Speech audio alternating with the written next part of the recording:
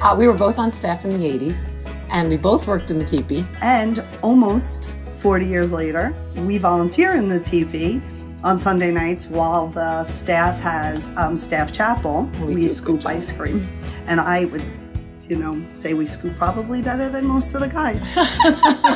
One of my um, things that I remember from the teepee is Mr. Bowman, our teepee manager, used to on concert nights line up the boys to scoop ice cream, and of course we felt that um, that wasn't fair. So we would we would try to prove him wrong. And then our then our kids also, Oh. but my kids and her kids both worked in the teepee also. I have four kids who've worked in the teepee. She has two, and Two girls. my three nephews and my niece, all of them have worked in the teepee. Um, I'm looking forward to a second floor. My son Lewis, um, his birthday is June 25th, but we always celebrate in the teepee. Things that bring that like nostalgic feeling. So now to have another floor to do that in like a little area to have parties, it'll be even better.